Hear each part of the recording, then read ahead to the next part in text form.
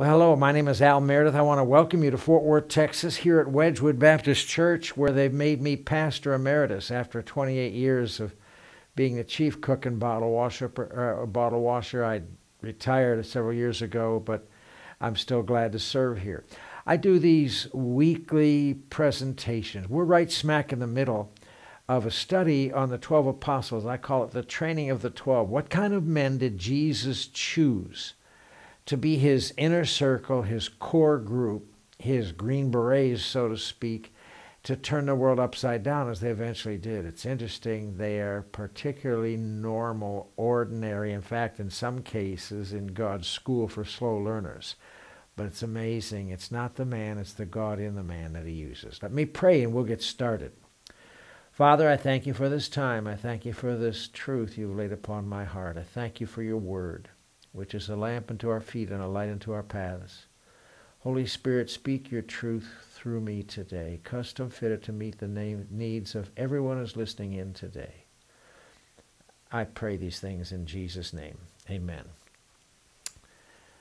Periodically, I get these rather persistent emails with intriguing promises. One I remember getting from, and it said Houston. Subject, quote unquote, you are liked. Well, that's nice. And then it goes on to say, We received an email from someone you know. Uh, and this person wants a blind date. Evidently, they didn't know me that much because I've been married for 54 years. But anyway, it goes on to say, Please fill out the profile. More information to come. And then it's signed, quote unquote, looking for a hot one. I never really knew I was a hottie, but in someone's eyes, evidently I am. Guys, our generation is like the old song goes, looking for love in all the wrong places. Back in the 70s, Burt Bacharach, his most famous song, you're thinking of it right now. What the world needs now is love, sweet love. That's the only thing that there's too little of. I remember hearing about one personal ad. Back before they had internet, you would put personal ads in the newspaper, and this one said, "A 35-year-old farmer looking for a wife, must own tractor." P.S. Send picture of the tractor. well, today I want to look into the life and the calling of the Apostle John. John, whom I understand to be, by his own admission, the one whom Jesus loved. The life of the Apostle John is proof positive of the power of God's transforming love. In Trafalgar Square in downtown London, you have what's known as Cleopatra's Needle. It's an obelisk that came from Egypt when the English took over Egypt from the French in the 1880s, they, as they often would do back then, dismantled this archaeological wonder and shipped it in mass and set it up on a foundation, a basis, a square, and uh, for all the world to see. And as they began to put it together, they said, we ought to include a time box something that when archaeologists millennia from now look back will get an understanding of what Victorian England was all about. And so they put in a pair of bifocal glasses, a copy of the New York Times newspaper, and somebody said we ought to put a Bible in there. Because the Victorian England was very much about religion and Christianity and the Bible.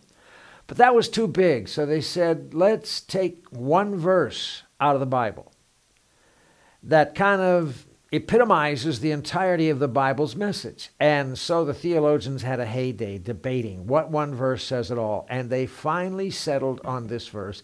It is found in the Gospel of John. You know where I'm going right now. Chapter 3, verse 16.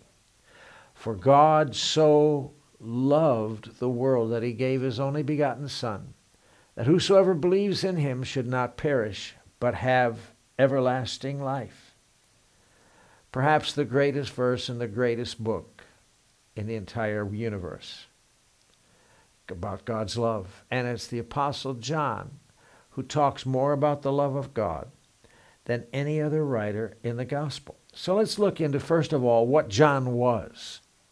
A little bit about his family. Keep your finger there in John, but turn over with me to Gospel of Mark and chapter 1. The first chapter of the Gospel of Mark, and verses 19 and 20. Andrew and John had left their nets to go and hear this wild prophet, John the Baptist, who was preaching revival in the Jordan River Valley. And Jesus shows up, and John says, Behold, the Lamb of God who takes away the sins of the world. And it says in verse 17, Then Jesus said to them, that is John and Andrew, Follow me, and I'll make you fishers of men.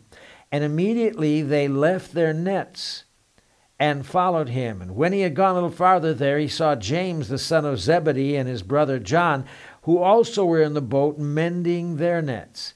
And immediately he called them, and they left their father Zebedee in the boat with his hired servants and went after him. So there's some things we can understand about John. First of all, about his family. He came from a relatively wealthy family. His father had a fishing business, several ships, and he had a number of servants that could take over the work when his sons wanted to run off gallivanting around Judea. At the cross, as Jesus about to die, he says, Woman, behold your son. And then it says after Jesus died that, that he took Mary, Jesus' mother, to his house. So evidently, he was one of the relatively few people in his age that owned his own home there in Jerusalem. Excuse me. He was wealthy. Secondly, about his family, he was spoiled. Think of it. Here's a grown adult man, kind of a half partner with his father and his brother in the family fishing business, and he's allowed to leave his nets and go off gallivanting and chasing around after John the Baptist in the Judean wilderness. Well, there are servants to do the work. I'm sure dad would send money. Mama would see to it that he'd send money for her son.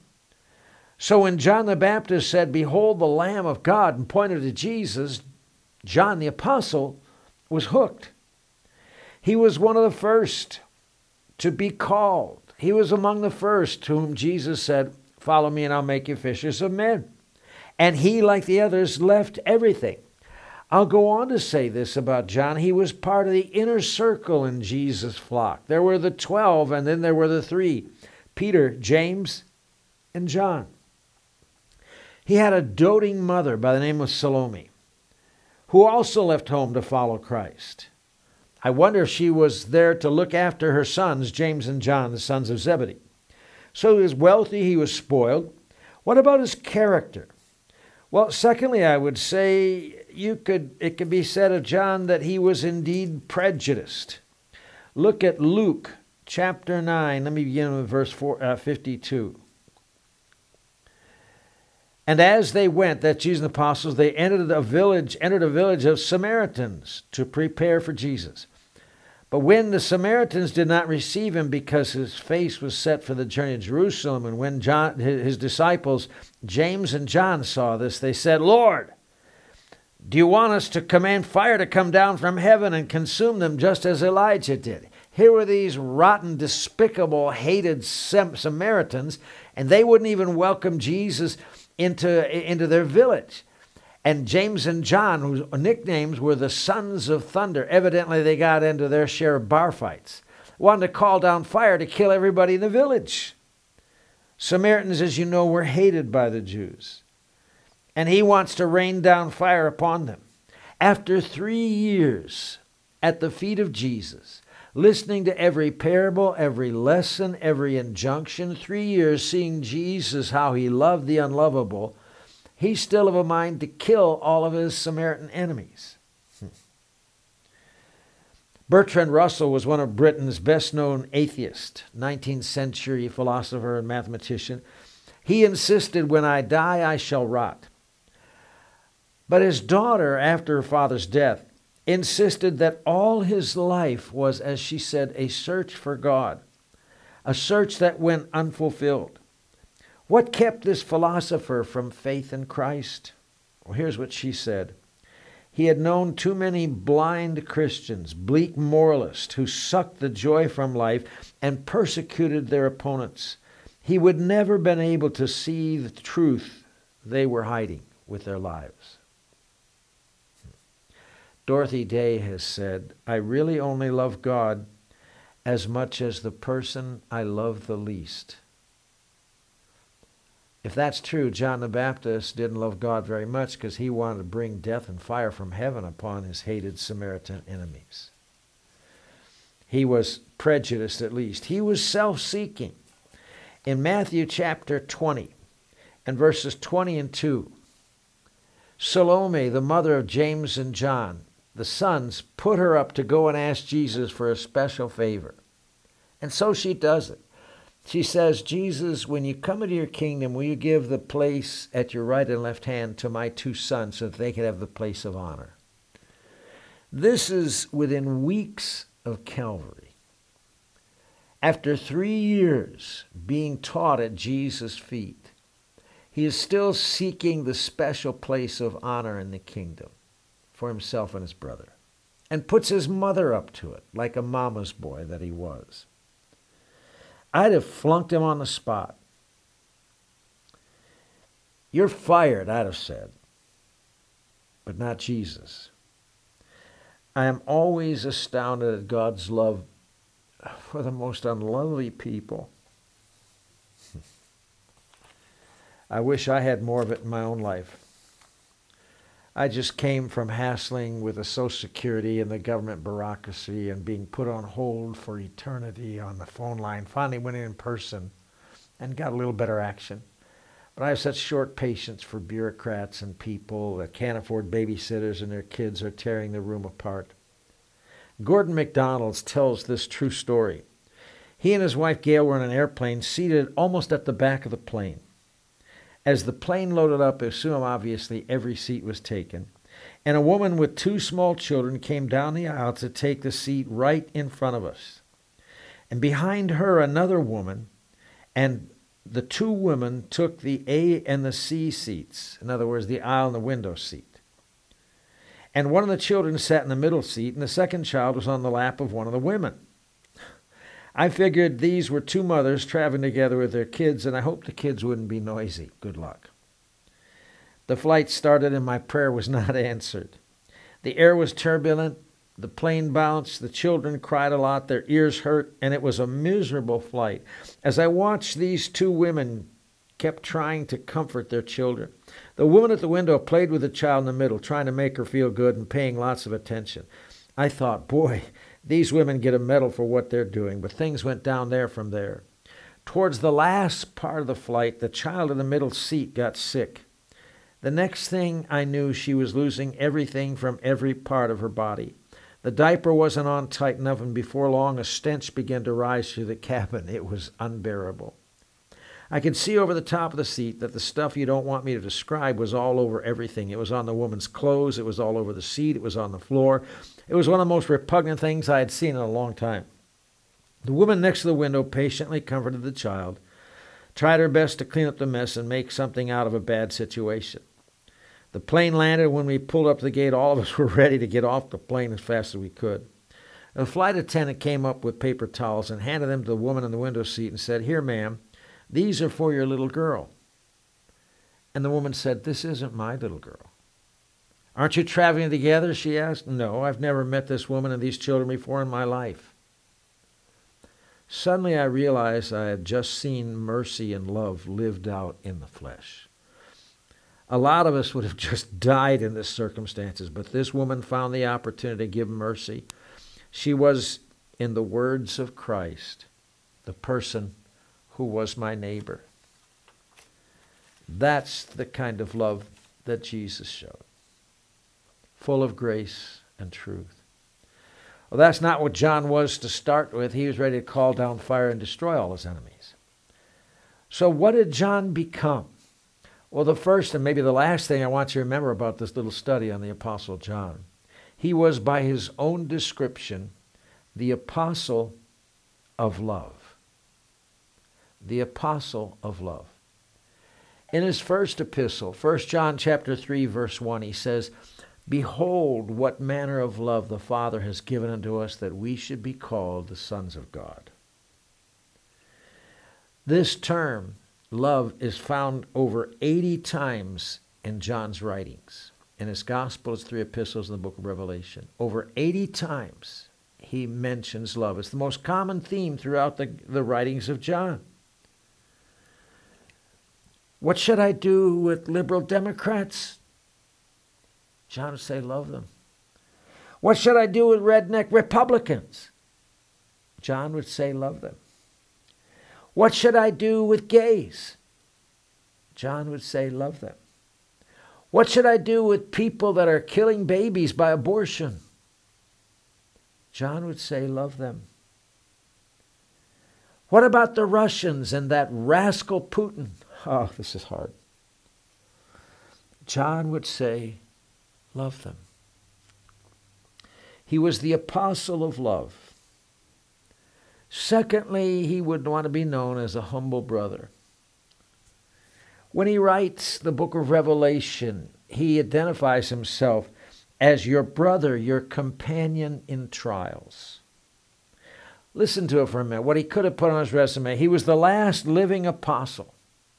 They tried to kill him, they boiled him in oil, and somehow he lived through it. He is the author of the Gospel of John, three epistles, the book of Revelation. He endured an exile to the island of Patmos. He's the pastor for 40 years at the church at Ephesus.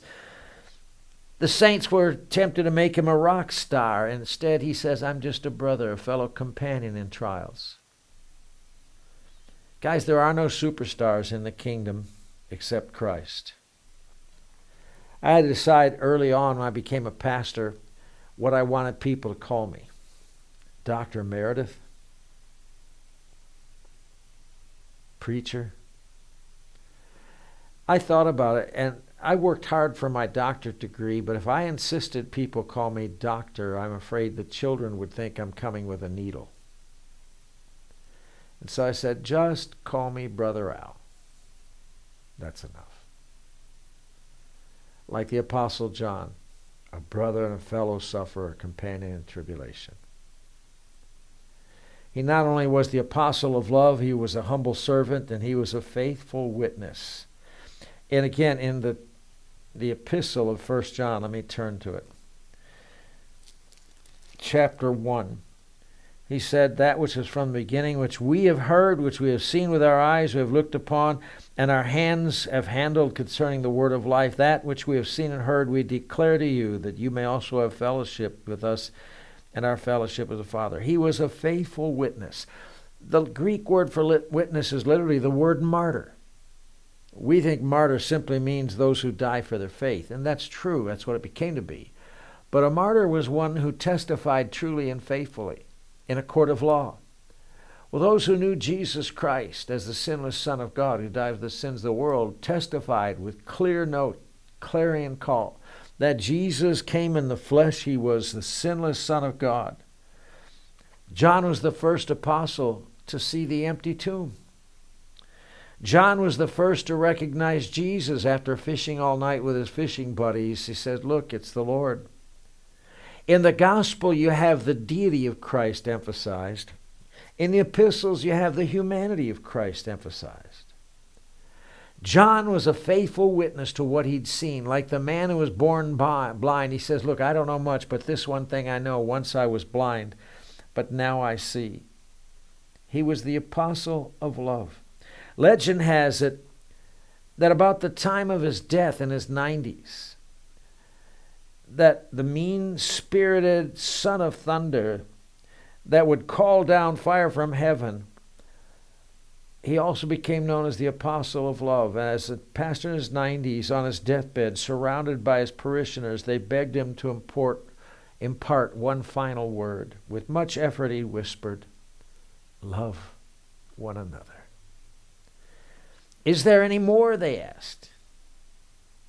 That is enough, he said. And then he died. From the son of thunder to the apostle of love, a faithful martyr, a true witness. Well, the question is what changed him? What produced this 180 degree turnaround? Let me point you to John chapter 19. I know we've skipped around a good bit, but I've wanted to get the full picture of the Apostle John. John chapter 19 and verse 25 and 26. It's a description of Calvary. And said, And there stood by the cross of Jesus his mother, his mother's sister, Mary the wife of Cleopas, and Mary Magdalene, four women.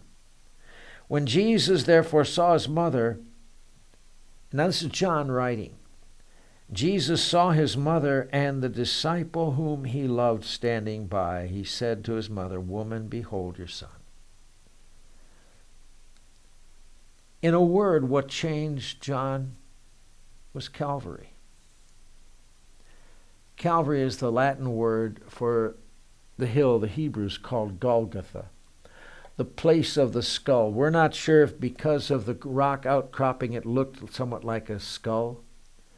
We know it was the garbage dump for all the carcasses of the sacrificial lambs and every other garbage people want to dump. So there were many skulls in the area.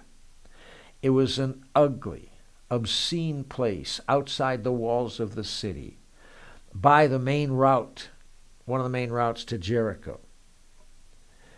Nothing more ugly, nothing more barren, more hopeless than this garbage dump where death and dung was held in the air outside the camp. Even uglier was the mob screaming for his death, for his torture. Crucify him, they insisted. I remember when Katrina, the great hurricane, hit New Orleans, Louisiana, and several hundred people went to the Superdome for refuge. But they're without organization, without police protection, without security they turned into a vile mob. A two year old was trampled to death. A 10 year old child was raped. Several were wounded, and several died. A desperately despicable place. But here at Golgotha, all of Jesus' disciples had deserted him except one. The one whom John describes as the one whom Jesus loved. When he first laid eyes on Jesus, the triumphing voice of John the Baptist was ringing across the hills Behold the Lamb of God who takes away the sins of the world. How does he do that? On bloody Good Friday, he saw with his own eyes as he took upon himself all the sins of the world, suffered indescribably, and died. That's how he takes away the sins of the world. Now, for once, he has a glimpse of the cost of his salvation and yours and mine. Ira D. Sankey was Dwight L. Moody's music minister. Dwight L. Moody was the greatest evangelist of the 19th century here in America. Sankey was one of the great songwriters, and one of the songs he wrote was called The Ninety and Nine after the parable. There were ninety and nine that safely lay in the shelter of the fold. But one was off in the hills far away, far off from the streets of gold. Away on the mountain, dark and bare, away from the tender shepherd's care. And so his friends plead him, Look, you got your 99 here, are they enough for thee? But the shepherd made answer, This of mine has wandered away from me. And though the way is dark and deep, I go to the desert to find my sheep. Third verse. But none of the ransomed ever knew how deep were the waters crossed, nor how dark the night that our Lord passed through ere he found his sheep that was lost. There on Calvary, as all the most heinous sins of the world were laid in Jesus' account, and all the guilt and the shame and the remorse that those terrible, torturous sins had brought. Jesus experienced in full, and all the wrath of the Father against the sins of humanity was poured out on Christ, so much so that the sun refused to shine. In the midst of the darkness, the Father turned away, and the Son cries out, My God, my God, why have you forsaken me? Then for three days, the Trinity is broken as the sun descends into hell itself. As John began to comprehend the cost of his redemption, this self seeking Son of Thunder was transformed by Calvary love.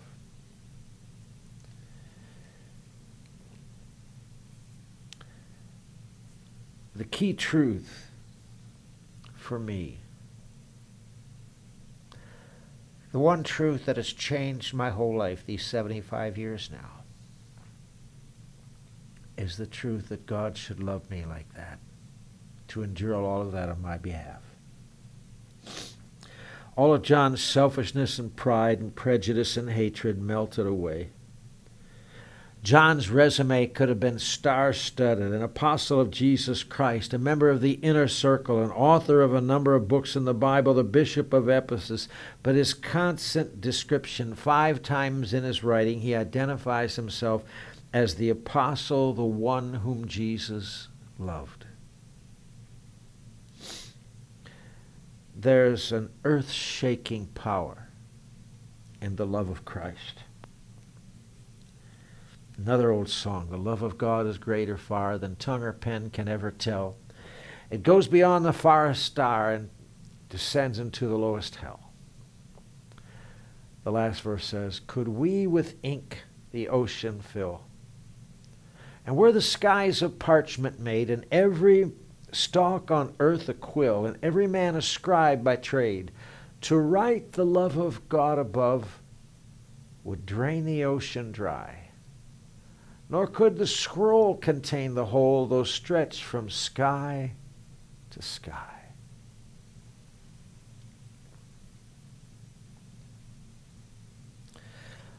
To the tribesmen that lived near Robert Moffat's home in Kuruman, South Africa, a man would never shed a tear in this particular tribe. To do so would have been what they called tholo or transgression. Men do not weep in this African trial, no matter what. One of them was a mighty hunter by the name of Baba. At one point in his life, he was torn from his horse and mangled by a lion, yet never shed a tear, and finally, though crippled, lived through it prayed quietly until he slipped into unconsciousness and somehow survived. But when Robert Moffat, the first missionary to South Africa, showed up in his village and told him of God's great love for him and his death on Calvary's cross for him, Baba's heart was so moved he sunk to the ground with remorseful tears and sobbed without control as his heart was melted by the love of God.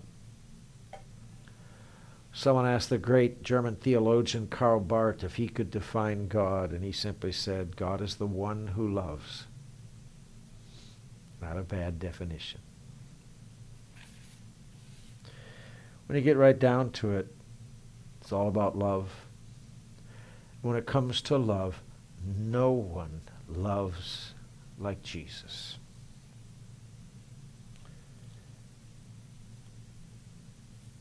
There's a true story of an orphan boy who was living with his grandmother in the 19th century in an English village. Both parents had died, so his grandmother took him in. When one night the fire the, the home caught on fire. Grandmother was trying to rescue him, but she perished in the flames.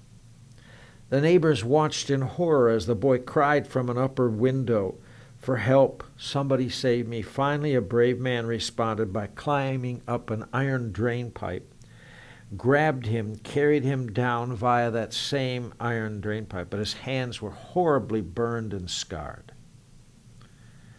Several weeks later, the villagers held a town meeting to see who would be willing to take this now helpless orphan to their family. One farmer said, I can use another hand. I'll teach him about hard work. The teacher in the village says, I would take him, I'll teach him and train him. A wealthy landowner, the earl, said, I have no sons. I can afford to give him the blessings of life. And the boy just stood there with eyes to the ground while the townsmen wrangled for his life. Then a man walked forward and lifted his scarred hands. terrible burns.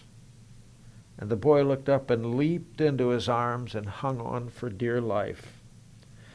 Those scarred hands settled the issue once and for all. This is the one who loves. Many voices call for our allegiance, but only one cared enough to die for your salvation. His hands are still scarred, and his arms are still wide open. And he says, Come, let me love on you. Let me turn your life around like I did the Apostle John. Oh God, I pray that those who are listening in would come to experience that unbelievable, matchless love that you have for us, for me. Lord, eternity won't be long enough to thank you for all that you've done for me. May each one listening in today know you as the one who loved them enough to die for them. I pray this in Jesus' name. Amen. Thank you, and God bless. See you next week.